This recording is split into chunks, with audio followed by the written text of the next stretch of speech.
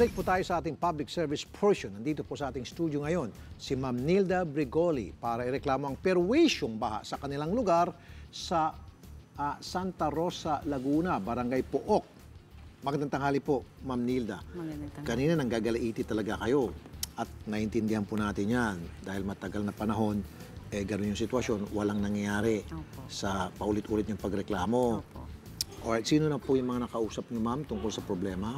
Wala pa po. Hmm. Kasi ang sinasabi niyo, yung baha. Opo. Okay.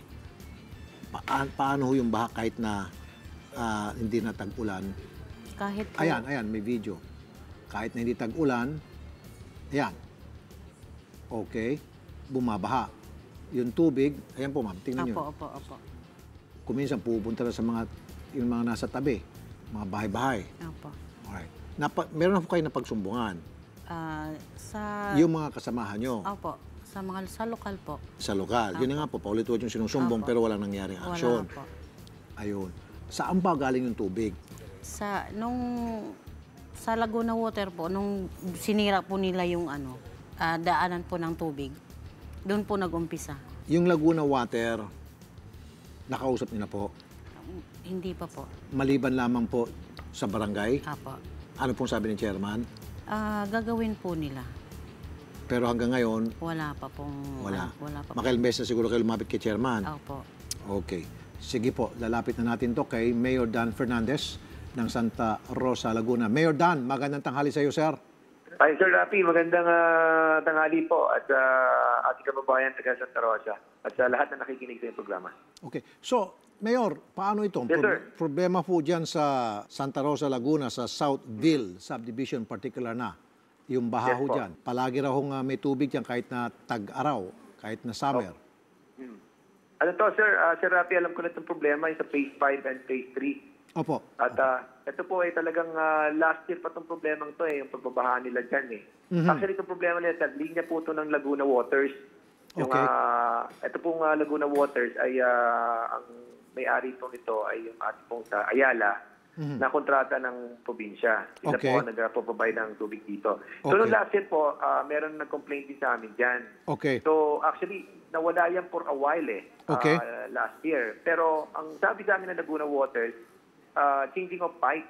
So, tumigil yung baha for a while. Pero ngayon, Ah, balik balita ulit. ko nga, hindi lang sila yung ah, nag-complain. May nagsabi rin sa akin na bumabaha na naman daw kahit ah, hindi tagulan. Sa sabi ko, may problema na naman yung ginawa nila ng pipe. Actually, maraming problema ang Laguna Waters, hindi lamang siya sa Phase 5 at Phase 3. Okay. Kasi yung mga yung mga kalye din po namin na nabubungkal din po nila, nagkakos din kami ng traffic. That's the reason why pinatawag na po natin ang Laguna Waters nung siguro mga... Ano pong sabi ng Laguna Water, Mayor? Well, ito, ito po ngayong complaint na ito po ngayon ni, ni ating kababayan. Ah, kahapon, nung tinawag sa akin po na tumawag nga kayo, ah, pinapupunta ko po ngayon. Hindi pa po sila pumupunta. Okay. Pero ang usapan po namin alas 12, wala pa po. Pero kakausapin po sila para alamin kung ano na ang ginawa nila. Kasi ah, ay, nung, nung nireport sa akin po dati to at nawala yung tubig dati doon for a while, akala ko okay na yung problema. So ngayon may problema po pala. So ipatatawag po natin sila, uh. Okay. Karapi.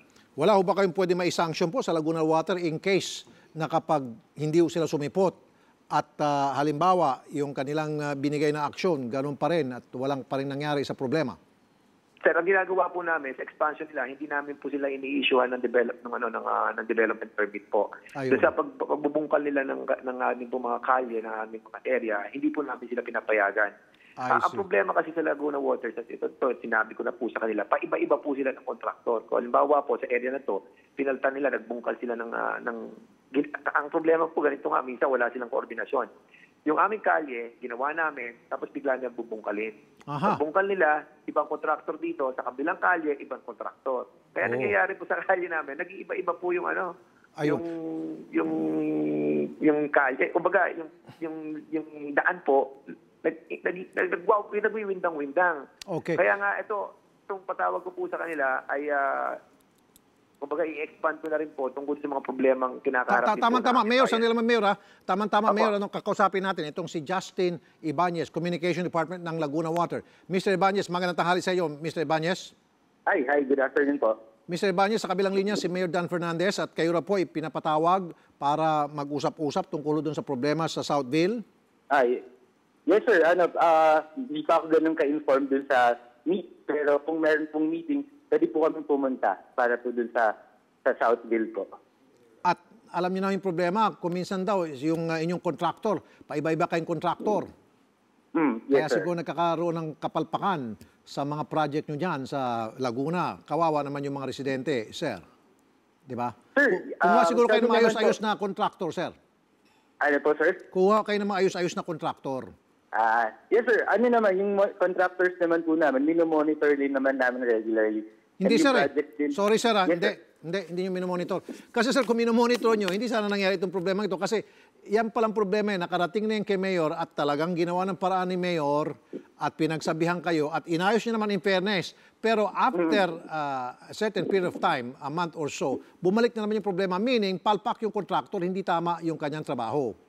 Sige sir, ganito, papacheck po ulit namin yung ano, yung site kung kung may problema po. Pero last time na that we check, hindi po konektado yung yung kung yung pagbaba, pagbabaha po yan, hindi po konektado dun sa ah, ginawang uh, linya po namin kasi hindi yung linya naman po ng tubig ay hindi po ano konektado po dun sa Okay, pe- drainage. pero mas maganda, ah, Mr. Ibanez, mag-report kayo bukas kay Mayor Dan Fernandez. Magsama ka ng technical group mo para pag-usapan at planuhin kung paano po ayusin yung problemang yan. Ano, sir? Yes sir, Ibanez? opo, opo. Walang problema po dun. Sige. Mayor Dan, Yes, sir. sige, darating daw sila dyan na tomorrow at kami rin po sasama at mag-observe kami doon po Okay sa po. Gagawin ng action. ah, bukas po, wa- wala po ako bukas. K- kailan po? Papunta po ako ng Davao. Actually, ngayon po, pinatatawag ko sila kung uh, i-re-schedule po nila to.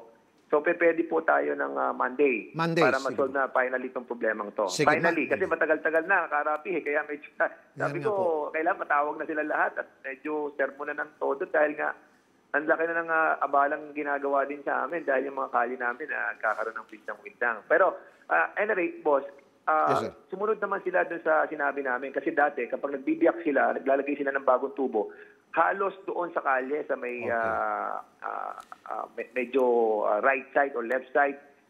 Sabi Okay. ko, wag na kayo mag magbungkal sa kalye. Doon na lang sa sidewalk kayo magbungkal para hindi na istorbo yung mga motorista. Okay, good. And, and doon naman po, eh, sumunod sila. Kaya nagpapasalamat din ako sa kanila. So, sa- Mayor, sa Monday, sige, Opo. darating dyan yung mga taga Alaguna Water at ah, kasama si Ma'am at kasama kami. Sige, Mayor, magkita-kita tayo. po. Sa- salamat, Salamat Mayor. po, Karapi. Salamat po. Magandang tanghali, Mayor. Mr. Okay. Ibanez, Yes.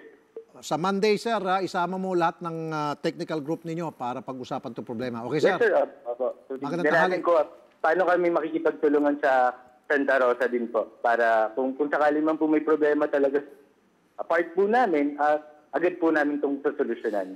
Very good. Good boy. Salamat, Mr. Ibanez, sir. Okay? Salamat sir. Ma'am, Monday kasama ka sa pag-uusap sa Mayor's Office, okay? Okay po. Yes, Thank you. Thank you very much.